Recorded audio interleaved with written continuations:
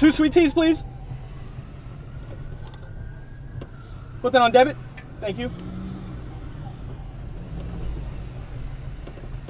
a great day. Thanks.